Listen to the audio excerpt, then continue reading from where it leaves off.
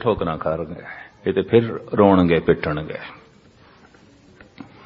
ਤੋ ਫਿਰ ਕੀ ਕੀਤਾ? ਯੁਧਿਸ਼ਠਰ ਨੂੰ ਕਹਿੰਨ ਤੋਂ ਬੋਲ, ਅਸਵਥਾਮਾ ਮਰ ਗਏ।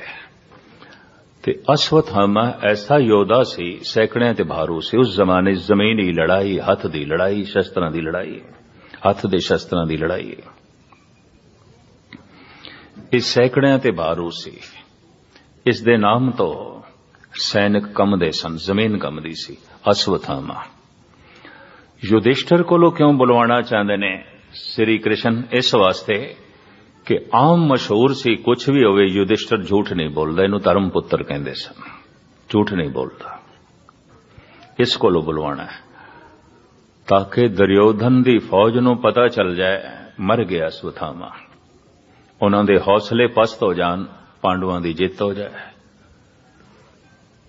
ਇਸ ਜਗ੍ਹਾ ਰਾਮ ਆਉਂਦੇ, ਉਹ ਨਹੀਂ ਅਸਤਾ ਕਰ ਸਕਦੇ ਸਨ। ਇਹ ਵੀ ਮੈਂ ਅਰਜ਼ ਕਰਦਾ ਪਰ ਜੈਸੇ ਕ੍ਰਿਸ਼ਨ ਨੇ, ਵੈਸੇ ਮਾਤਮਾ ਬੁੱਧ ਨਹੀਂ ਨੇ। ਉਹਨਾਂ ਦਾ ਆਪਣਾ ਢੰਗ ਹੈ। ਉਹ ਭਾਂਡਾ ਕੁਝ ਹੋਰ ਹੈ, ਉੱਥੇ ਪਾਣੀ ਕੁਝ ਹੋਰ ਆਕਾਰ ਬਣਾਈ ਬੈਠਾ ਹੈ। ਪਰ ਜੈਸੇ ਮਹਾਤਮਾ ਬੁੱਧ ਨੇ, ਵੈਸੇ ਗੁਰੂ ਨਾਨਕ ਨਹੀਂ ਨੇ, ਇਹ ਵੀ ਮੈਂ ਅਰਜ਼ ਕਰਦੇ ਹਾਂ। ਹੱਥ ਦੇ ਵਿੱਚ ਭਿਕਸ਼ਾ ਦਾ ਪਾਤਰ ਲੈ ਕੇ, ਹਰ ਇੱਕ ਨੂੰ ਭਿਕਸ਼ੂ ਬਣਾਉਣਾ ਮਾਤਮਾ ਬੁੱਧ ਦਾ ਪ੍ਰਯੋਜਨ। ਤੇ ਗੁਰੂ ਨਾਨਕ ਕਹਿੰਦੇ ਨੇ, ਹਰ ਇੱਕ ਭਿਕਸ਼ੂ ਬਣ ਗਿਆ ਤੇ ਦੇਗਾ ਕੌਣ? ਭਾਂਡੇ 'ਚ ਕੌਣ ਪਾਏਗਾ? ਹਰ ਇੱਕ ਭਿਕਸ਼ੂ ਬਣ ਗਿਆ, ਹਰ ਇੱਕ ਮੰਗਤਾ ਬਣ ਗਿਆ, ਹਰ ਇੱਕ ਨੇ ਮੰਗ ਕੇ ਆਪਣੀ ਉਪਜੀਵਕਾ ਚਲਾਣੀ ਹੈ। ਇਹ ਉਪਦੇਸ਼, ਇਹ ਸੰਦੇਸ਼, ਇਹ ਗਿਆਨ ਕੁਝ ਮਨੁੱਖਾਂ ਲਈ ਹੈ, ਸਾਰਿਆਂ ਲਈ ਨਹੀਂ ਹੈ। ਇਹ ਐਸਾ ਦੀਵ ਹੈ, ਕੁਝ ਇੱਕ ਅਧ ਘਰ ਦੇ ਜਲ ਸਕਦਾ ਹੈ ਕੁਝ ਘਰਾਂ ਜਲ ਸਕਦਾ ਹੈ, ਸਾਰਿਆਂ ਨੂੰ ਰੋਸ਼ਨੀ ਦੇ ਸਕਦਾ। ਗਿਆਨ ਦਾ ਦੀਪਕ ਸੂਰਜ ਜੈਸਾ ਚਾਹੀਦਾ ਹੈ, ਸਭ ਨੂੰ ਮਿਲੇ। ਤਾਂ ਗੁਰੂ ਨਾਨਕ ਨੇ ਸਾਫ਼ ਕਹਿ ਦਿੱਤਾ, ਨਹੀਂ, ਮੰਗਣ ਗਿਆ ਸੋ ਮਰ ਰਿਹਾ, ਮੰਗਣ ਮੋਲ ਨਾ ਜਾਏ। ਜੋ ਆਪਣੀ ਅਣਖ ਨਹੀਂ ਮਾਰਦਾ, ਉਹ ਮੰਗ ਵੀ ਨਹੀਂ ਸਕਦਾ। ਮੰਗਦੇ ਹੀ, ਉਸ ਤੋਂ ਪਹਿਲੇ ਉਸ ਦੀ ਅਣਖ ਮਰ ਜਾਂਦੀ ਹੈ ਉਹਦੀ ਗੈਰਤ ਮਰ ਜਾਂਦੀ। ਹੈ ਔਰ ਸਾਹਿਬਾਂ ਦਾ ਸੰਦੇਸ਼ ਗਾਹ ਖਾਏ ਕਿਛ ਹੱਥੋਂ ਦੇ, ਨਾਨਕ ਰਾਹ ਪਛਾਣੇ ਸੇ। ਉਹ ਪਰਮਾਤਮਾ ਦੀ ਰਾਹ ਜਾਣਦਾ ਹੈ। ਪਰ ਇਸ ਤਰ੍ਹਾਂ ਕਹਿਣ ਨਾਲ ਕਿਧਰੇ ਇਹ ਨਾ ਸਮਝ ਲੈਣਾ, ਮੈਂ ਮਹਾਤਮਾ ਬੁੱਧ ਨੂੰ ਗਲਤ ਕਹਿ ਰਿਹਾ। ਨਹੀਂ, ਉਹ ਵੀ ਇੱਕ ਐਸਾ ਦੀਪ ਹੈ, ਕੁਝ ਘਰਾਂ ਜਲ ਸਕਦਾ ਹੈ, ਰੋਸ਼ਨੀ ਦੇ ਸਕਦਾ ਹੈ। ਨਾ ਸਹੀ ਸੂਰਜ, ਪਰ ਐਸਾ ਲੈਂਪ ਜ਼ਰੂਰ ਹੈ, ਕਈ ਘਰਾਂ ਚਾਨਣਾ ਕਰ ਸਕਦਾ ਹੈ। ਔਰ ਕਈ ਘਰਾਂ ਨੂੰ ਉਸਨੇ ਚਾਨਣਾ ਦਿੱਤਾ ਹੈ, ਰੋਸ਼ਨੀ ਦਿੱਤੀ ਹੈ। ਭਾਵੇਂ ਐਸਾ ਲੈਂਪ, ਐਸਾ ਦੀਪਕ ਵਿਆਪਕ ਰੂਪ ਵਿੱਚ ਤੇ ਰੋਸ਼ਨੀ ਨਹੀਂ ਲੇਕਿਨ ਫਿਰ ਵੀ ਰੋਸ਼ਨੀ ਮਿਲੀ ਬਹੁਤਿਆਂ ਨੂੰ ਬਹੁਤਿਆਂ ਦੇ ਘਰ ਚਾਨਣ ਹੋਏ ਇਹ ਗੱਲ ਵੱਖਰੀ ਹੈ ਕਿ ਗੁਰੂ ਨਾਨਕ ਕਹਿੰਦੇ ਨੇ ਸਮੂਹਕ ਧਰਮ ਨਹੀਂ ਹੈ ਸਾਰੇ ਭਿਕਸ਼ੂ ਬਣ ਗਏ ਕੌਣ ਦੇਗਾ ਕਿਸ ਨੇ ਭਿਕਸ਼ਾ ਦੇਣੀ ਬਿਰਧ ਅਵਸਥਾ ਹੋ ਗਈ ਗੁਰੂ ਨਾਨਕ ਹਲ ਪੈ ਚਲਾਉਂਦੇ ਨੇ ਕਰਤਾਰਪੁਰ ਦੇ ਚ ਜਗਤ ਨੂੰ ਸਿਖਾਣਾ ਕਿਰਤ ਕਰਨੀ ਹੈ ਕਾਲ ਖਾਏ ਕਿਛ ਹੱਥੋਂ ਦੇ ਨਾਨਕ ਰਾਹ ਪਛਾਣੈ ਸੇ। ਉਹ ਪ੍ਰਮਾਤਮਾ ਦਾ ਰਸਤਾ ਜਾਣਦਾ ਤਾਂ ਮੈਂ ਅਰਜ਼ ਕਰਾਂ, ਜੈਸੇ ਮਹਾਤਮਾ ਬੁੱਧ ਨੇ, ਵੈਸੇ ਗੁਰੂ ਨਾਨਕ ਨਹੀਂ ਨੇ। ਫਿਰ ਜੈਸੇ ਗੁਰੂ ਨਾਨਕ ਨੇ, ਮੈਨੂੰ ਕਹਿਣ ਵਿੱਚ ਕੋਈ ਸੰਕੋਚ ਨਹੀਂ, ਵੈਸੇ ਮੁਹੰਮਦ ਸਾਹਿਬ ਨਹੀਂ ਨੇ। ਔਰ ਜੈਸੇ ਮੁਹੰਮਦ ਨੇ, ਵੈਸੇ ਈਸਾ ਨਹੀਂ ਨੇ। ਜੈਸੇ ਈਸਾ ਨੇ, ਵੈਸੇ موسی ਨਹੀਂ ਨੇ। ਔਰ ਜੈਸੇ موسی ਨੇ, ਵੈਸੇ ਜਰਦਰਸਤ ਨਹੀਂ ਨੇ। ਇਹ ਐਸੇ ਬਾਂਡੇ ਨੇ ਇਹਨਾਂ ਦੇ ਵਿੱਚ ਅਲੱਗ-ਅਲੱਗ ਢੰਗ ਦੇ ਨਾਲ ਪਾਣੀ, ਬਦਲਾਂ ਦਾ ਵਰਸਾ ਹੈ ਤੇ ਆਕਾਰ ਅਲੱਗ-ਅਲੱਗ ਧਾਰਨ ਕਰ ਗਏ ਲੇਕਿਨ ਪਾਣੀ ਇੱਕੋ ਸੀ। ਉਸ ਪਾਣੀ ਨਾਲ ਪਿਆਸ ਸਾਰਿਆਂ ਦੀ ਬੁੱਝੀ ਹੈ। ਆਨੰਦ ਸਾਰਿਆਂ ਨੇ ਮਾਣਿਆ ਰਸ ਸਾਰਿਆਂ ਨੂੰ ਆਇਆ ਹੈ। ਪਰ ਚੂੰਕਿ ਭਾਂਡੇ ਅਲੱਗ-ਅਲੱਗ ਸਨ, ਤਾਂ ਉਹਨਾਂ ਦੇ ਕਹਿਣ ਦਾ ਢੰਗ ਵੀ ਅਲੱਗ-ਅਲੱਗ, ਪ੍ਰਗਟ ਕਰਨ ਦਾ ਢੰਗ ਵੀ ਅਲੱਗ-ਅਲੱਗ। ਰੂਪ ਰੇਖਾ ਵੀ ਉਹਨਾਂ ਦੀ ਅਲੱਗ-ਅਲੱਗ ਬਣ ਗਈ। ਪਾਂਡੇ ਜੋ ਹੈ, ਅਲੱਗ-ਅਲੱਗ ਸਨ। ਤੋ ਧੰਨ ਗੁਰੂ ਨਾਨਕ ਦੇਵ ਜੀ ਮਹਾਰਾਜ ਕਹਿੰਦੇ ਨੇ, ਹੁਕਮੇ ਹੋਵਨ ਆਕਾਰ, ਹੁਕਮ ਨਾ ਕਿਹਾ ਜਾਈ, ਹੁਕਮੇ ਹੋਵਨ ਜੀ। ਸਾਰਾ ਜੀਵਨ ਜੋ ਜੜ ਦੇ ਅੰਦਰ ਸਮਾਇਆ ਹੋਇਆ ਹੈ, ਉਸ ਦੇ ਬਣਾਏ ਹੋਏ ਹੁਕਮ ਮਰਿਆਦਾ ਦੇ ਮੁਤਾਬਕ। ਹੁਕਮ, ਲਿਖ, ਦੁੱਖ, ਸੁਖ ਪਾਈਏ। ਉਸ ਦੇ ਲਿਖੇ ਹੋਏ ਹੁਕਮ ਦੇ ਮੁਤਾਬਕ ਦੁੱਖ ਹੈ, ਸੁੱਖ ਹੈ। ਹੁਣ ਇਹ ਐਸੀ ਪੰਕਤੀ ਹੈ, ਦਿਮਾਗ ਚੱਕਰਾ ਜਾਂਦੇ ਨੇ, ਇਸ ਦਾ ਮਤਲਬ ਦੁੱਖ ਸੁੱਖ ਹਰ ਇੱਕ ਦੇ ਮਸਤਕ ਤੇ ਲਿਖਿਆ ਹੋਇਆ ਹੈ, ਤਾਂ ਮੈਂ ਅਰਜ਼ ਕਰਾਂ ਲਿਖਿਆ ਹੋਇਆ ਹੈ। ਸਾਨੂੰ ਕਿਸ ਤਰ੍ਹਾਂ ਪੜਨ ਦੇ ਚਾਵੇਗਾ ਕਿਵੇਂ ਪੜੀਏ ਦੁੱਖ ਨੂੰ ਕਿਵੇਂ ਪੜੀਏ ਸੁੱਖ ਨੂੰ ਕਿਵੇਂ ਪੜੀਏ ਅਗਰ ਵਾਕਈ ਇਹ ਹੁਕਮ ਹੈ ਉਸ ਪਰਮਾਤਮਾ ਦਾ, ਤਾਂ ਇਸ ਨੂੰ ਪੜੀਏ ਕਿਸ ਤਰ੍ਹਾਂ? ਕਿਉਂਕਿ ਮਹਾਰਾਜ ਕਹਿੰਦੇ ਨੇ, ਸਾਰਿਆਂ ਦੇ ਨਾਲ ਲਿਖਿਆ ਹੋਇਆ ਹੁਕਮ ਰਜਾਈ ਚਲਣਾ ਨਾਨਕ ਲਿਖਿਆ ਨਾਲ, ਪਹਿਲੀ ਪੌੜੀ ਚ। ਹੁਕਮੇ ਅੰਦਰ ਸਭ ਕੋ, ਬਾਹਰ ਹੁਕਮ ਨਾ ਕੋਏ। ਨਾਨਕ ਹੁਕਮੇ ਜੇ ਬੁਝੇ ਤਾਂ ਹਉ ਮੈਂ ਕਹੇ ਨਾ ਕੋਏ। ਫਿਰ ਐਸਾ ਹੁਕਮ ਲਿਖ ਦੁਖ ਸੁਖ ਪਾਈਏ। ਕਹੋ ਨਾਨਕ ਜਿਨ ਹੁਕਮ ਪਛਾਤਾ, ਪ੍ਰਭ ਸਾਹਿਬ ਕਾ ਤਿੰਨ ਭੇਦ ਜਾਤਾ, ਹੁਕਮ ਲਿਖ ਦੁਖ ਸੁਖ ਪਾਈਏ, ਕਿਵੇਂ ਪੜੀਏ ਪੜਨ ਦਾ ਇੱਕੋ ਹੀ ਢੰਗ ਹੈ, ਜੋ ਹੋਆ ਹੋ ਵਤਸੋ ਜਾਣੇ, ਪ੍ਰਭ ਆਪਣੇ ਕਾ ਹੁਕਮ ਪਛਾਣੇ, ਜੋ ਹੋ ਗਿਆ, ਦੁੱਖ ਪ੍ਰਗਟ ਹੋ ਗਿਆ, ਹੋਣਾ ਹੀ ਸੀ ਹੁਕਮ। ਮੰਨ ਲਓ, ਲਿਖਿਆ ਸਾਹਮਣੇ ਆ ਗਿਆ। ਜੋ ਹੋਆ ਹੋ ਵਤਸੋ ਜਾਣੇ ਪ੍ਰਭ ਆਪਣੇ ਕਾ ਹੁਕਮ ਪਛਾਣੇ ਜੋ ਹੋ ਗਿਆ ਹੋਣਾ ਹੀ ਸੀ ਹੁਕਮ ਸੁਖ ਮਿਲਿਆ ਮਿਲਣਾ ਹੀ ਸੀ ਹੁਕਮ ਪਰ ਦੁੱਖ ਮਿਲਿਆ ਮਿਲਣਾ ਹੀ ਸੀ ਹੁਕਮ ਇੱਜ਼ਤ ਮਿਲੀ ਹੈ ਮਿਲਣੀ ਸੀ ਹੁਕਮ ਪਰ ਬੇਇੱਜ਼ਤੀ ਹੋ ਗਈ ਹੈ ਹੋਣੀ ਸੀ ਹੁਕਮ ਹੋ ਰਿਹਾ ਹੈ ਕੀਤਾ ਨਹੀਂ ਜਾ ਰਿਹਾ। ਹੁਣ ਮੈਂ ਅਰਜ਼ ਕਰਾਂ, ਹੋ ਰਿਹਾ ਹੈ। ਬਹੁਤ ਕੁਝ ਹੋ ਰਿਹਾ ਹੈ। ਕੀਤਾ ਨਹੀਂ ਜਾ ਰਿਹਾ ਅਗਰ ਕੀਤਾ ਨਹੀਂ ਜਾ ਰਿਹਾ ਤਾਂ ਸਾਡੀ ਜ਼ਿੰਮੇਵਾਰੀ ਸਾਡੀ ਜ਼ਿੰਮੇਵਾਰੀ ਇਤਨੀ ਹੈ ਕਿ ਅਸੀਂ ਕਹਿੰਦੇ ਕੀਤਾ ਜਾ ਰਿਹਾ ਸੀ ਕਰ ਰਹੇ ਹਾਂ। ਹਾਂ, ਮੈਂ ਮੈਂ ਕਰ ਰਿਹਾ ਕਿ ਸਵੇਰੇ ਸੂਰਜ ਉਗਦਾ ਹੈ, ਤੂੰ ਗਾ ਰਹੇ ਹੈ। ਇਹ ਰਾਤ ਆਈ ਹੈ, ਤੂੰ ਖਿੱਚ ਕੇ ਲਿਆਇਆ ਬਰਖਾ ਦੇ ਬੱਦਲ ਉਮੜੇ ਨੇ। ਤੂੰ ਉਡਾ ਕੇ ਲਿਆਇਆ ਜਗਤ ਦੇ ਵਿੱਚ ਬਹੁਤ ਕੁਝ ਹੋ ਰਿਹਾ ਹੈ ਇਤਨਾ ਵੱਡਾ ਇਤਨਾ ਮਹਾਨ ਹੋ ਰਿਹਾ ਹੈ ਤੇ ਇੱਕ ਸਿਰਫ ਤੂੰ ਹੀ ਹੈ ਤੈਥੋਂ ਜੋ ਕੁਝ ਹੋ ਰਿਹਾ ਹੈ ਤੂੰ ਇਹ ਕਹਿ ਰਿਹਾ ਮੈਂ ਕਰ ਰਿਹਾ ਸੰਸਾਰ ਦੇ ਵਿੱਚ ਇਤਨਾ ਕੁਝ ਹੋ ਰਿਹਾ ਹੈ ਤੇਰੇ ਵਿੱਚ ਵੀ ਹੋ ਰਿਹਾ ਹੈ ਖੂਨ ਚੱਲ ਰਿਹਾ ਹੈ ਤੂੰ ਨਹੀਂ ਚਲਾ ਰਿਹਾ ਸਵਾਸ ਚੱਲ ਰਹੇ ਨੇ ਤੂੰ ਨਹੀਂ ਚਲਾ ਰਿਹਾ ਦਿਲ ਧੜਕ ਰਿਹਾ ਹੈ ਤੂੰ ਨਹੀਂ ਧੜਕਾ ਰਿਹਾ ਇਸੇ ਤਰੀਕੇ ਦੇ ਨਾਲ ਤੈਥੋਂ ਸਭ ਕੁਝ ਹੋ ਰਿਹਾ ਹੈ ਤੂੰ ਨਹੀਂ ਕਰ ਰਿਹਾ ਅਗਰ ਮੈਂ ਨਹੀਂ ਕਰ ਰਿਹਾ ਤਾਂ ਮੇਰੀ ਜ਼ਿੰਮੇਵਾਰੀ ਕੀ ਹੈ तेरी जिम्मेवारी कुछ नहीं है अगर तू ये सोचे कि मैं नहीं कर रहा मैं कुछ भी नहीं फिर कोई जिम्मेवारी नहीं कुछ भी तेरी जिम्मेवारी नहीं आनंद बन जाएगा फिर जो कुछ भी सामने है इति प्रभु का हुक्म कबूल हो जाएगा परवान है जो होवा हो वत्सो जाने प्रभ अपने का हुक्म पछाने मैं करता ही नहीं हो गया सो हो गया हो ਰਿਹਾ ਹੈ ਕੀਤਾ ਨਹੀਂ ਜਾ ਰਿਹਾ ਮੈਂ ਨਹੀਂ ਕਰ ਰਿਹਾ ਇਤਨਾ ਕੁਝ ਜੋ ਬ੍ਰਹਿਮੰਡ ਦੇ ਵਿੱਚ ਹੋ ਰਿਹਾ ਹੈ ਤੂੰ ਪਿਆ ਕਰਦਾ ਤੇ ਜੇ ਬ੍ਰਹਿਮੰਡ ਦੇ ਵਿੱਚ ਹੋ ਰਿਹਾ ਹੈ ਤਾਂ ਇਸ ਪਿੰਡ ਦੇ ਵਿੱਚ ਵੀ ਹੋ ਰਿਹਾ ਹੈ ਤੂੰ ਨਹੀਂ ਕਰ ਰਿਹਾ तो मैं एक दफा फिर दोहरा रहा ਬ੍ਰਹਿਮੰਡ ਦੇ ਜੋ ਕੁਝ ਹੋ ਰਿਹਾ ਹੈ ਮੇਰੀ ਜ਼ਿੰਮੇਵਾਰੀ ਨਹੀਂ, ਇਸ ਪਿੰਡ ਦੇ ਜੋ ਕੁਝ ਹੋ ਰਿਹਾ ਹੈ ਮੇਰੀ ਜ਼ਿੰਮੇਵਾਰੀ ਨਹੀਂ। ਹੋ ਰਿਹਾ ਕੀਤਾ ਨਹੀਂ ਜਾ ਰਿਹਾ। ਫਿਰ ਮੈਂ ਦੁਖੀ ਕਿਉਂ ਆ ਕਿਉਂਕਿ ਮੈਂ ਕਹਿੰਦਾ, ਮੈਂ ਕੀਤਾ। ਬਸ ਇਸ ਕਰਕੇ ਮੈਂ ਦੁਖੀ ਹਾਂ। ਮੈਂ ਕੀਤਾ ਹੈ ਤਾਂ ਹੁਣ ਜੋ ਦੁੱਖ ਆਏਗਾ, ਦੁੱਖ ਵੀ ਮੇਰਾ, ਸੁੱਖ ਆਏਗਾ, ਸੁੱਖ ਵੀ ਮੇਰਾ, ਕਿਉਂਕਿ ਉਹਦੇ ਉੱਤੇ ਮੇਰਾ, ਮੈਂ ਦੀ ਮੋਹਰ ਹੈ। ਤੇ ਜਦ ਮੈਂ ਹੀ ਨਹੀਂ, ਤਾਂ ਫਿਰ ਪਤਾ ਹੈ ਮਨੁੱਖ ਕੀ ਕਹਿੰਦਾ ਹੈ? ਧੰਨ ਗੁਰੂ ਅਰਜਨ ਦੇਵ ਜੀ ਦੇ ਬੋਲ, ਦੁੱਖ ਨਾਹੀ, ਸਭ ਸੁਖ ਹੀ ਹੈ ਰੇ, ਹਾਰ ਨਹੀਂ ਸਭ ਜੇਤੇ ਬੁਰਾ ਨਹੀਂ ਸਭ ਭਲਾ ਹੀ ਹੈ ਰੇ, ਏਕਾ ਏਕੀ ਨੇਤੇ ਕੌਣ ਕਹਿੰਦਾ ਜਗਤ ਦੇ ਵਿੱਚ ਕੁਝ ਬੁਰਾ ਹੈ? ਕੁਝ ਵੀ ਬੁਰਾ ਨਹੀਂ, ਗੁਰੂ ਅਰਜਨ ਦੇਵ ਜੀ। ਕੌਣ ਕਹਿੰਦਾ ਦੁੱਖ ਹੈ? ਕੁਝ ਵੀ ਦੁੱਖ ਨਹੀਂ ਹੈ। ਕੌਣ ਕਹਿੰਦਾ ਹਾਰ ਹੈ? ਕੁਝ ਵੀ ਹਾਰ ਨਹੀਂ।